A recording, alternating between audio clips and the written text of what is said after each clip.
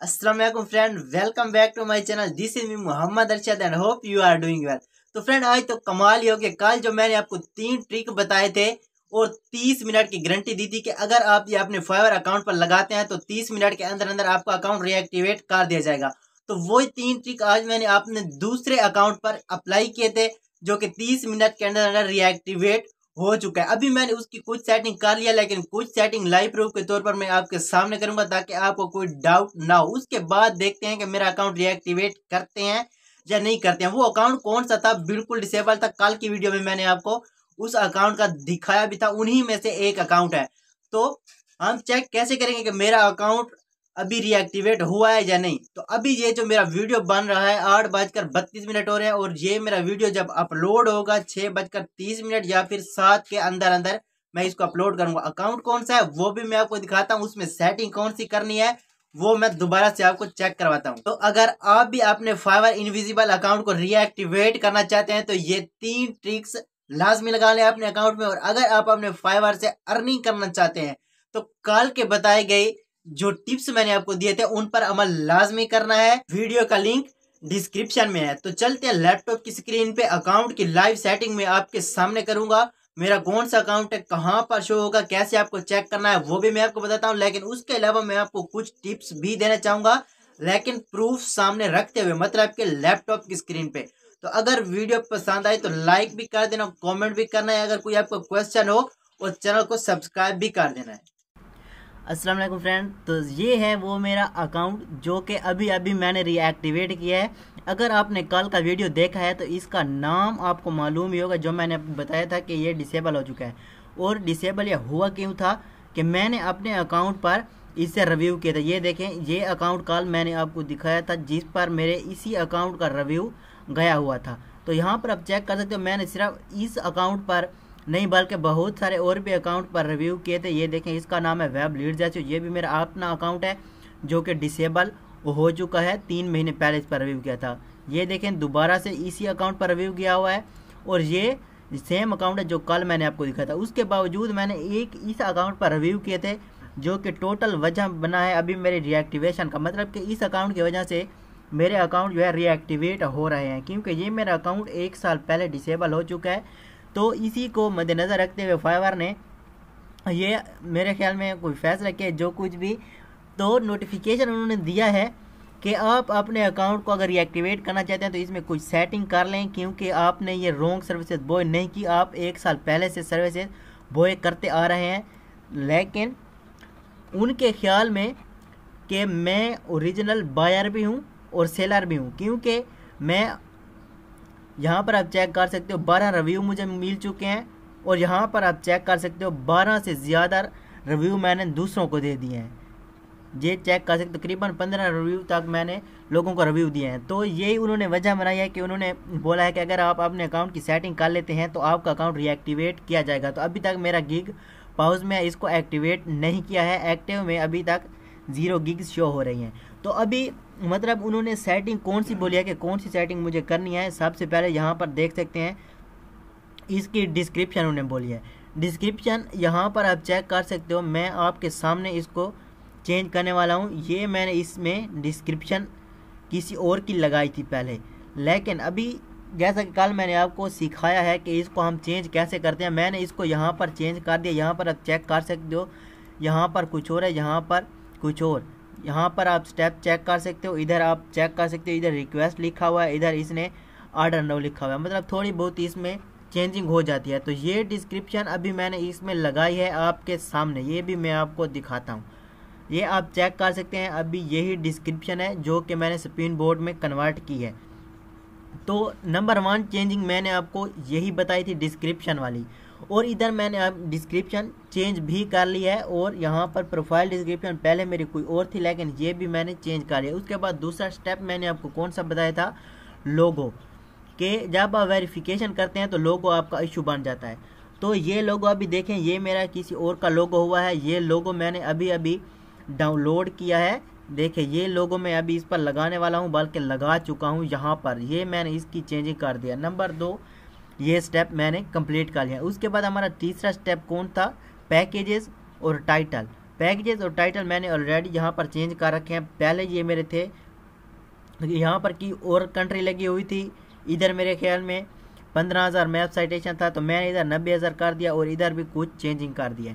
तो इधर आप देखें ये मेरी सर्विस है गूगल मैप साइटेशन और साथ में मैंने कंट्रीज़ लगा दिया। मतलब कि मेरे अकाउंट जितनी भी कंट्री मैंने इधर लगाई है, उस कंट्री में शो होंगे। सर्च करने पर फॉर एग्ज़ाम्पल कोई करता है Google map citation for Canada तो मेरा अकाउंट सबसे पहले उसके सामने शो होगा। उसके अलावा कीवर्ड की मैंने चेंजिंग की और डिस्क्रिप्शन जैसे कि मैंने आपको बताया। उसके बाद गिग का इमेज गिग का इमेज आप यहाँ से अंदाज़ा लगा सकते हो। ये भी मैंने अभी अभी आपके सामने बनाया है। Google map citation plus G M B optimisation ये मेरी सर्विस है। यहाँ पर मैं आपको दिखाता हूँ, ये देखें, जैसा कि मेरे थंबनेल होते हैं, मैंने थंबनेल के रिलेटेड अपनी गिग भी बना डाली है। तो ये सारी चीज़ें जो फाइवर चाहता है कि मैं चेंज करूँ, वो सारी चीज़ें मैंने यहाँ पर सेव ये देखिए आपके सामने, अभी मैं सेव कर रहा हूँ। ये सारी चीज़ें मेरी सेव हो गई हैं। उसके बाद अब सवाल ये उठता है कि मेरा अकाउंट 30 मिनट के अंदर अंदर रीएक्टिवेट होता है या नहीं। तो यहाँ पर मैं इसको रिफ़्रेश कर लेता हूँ।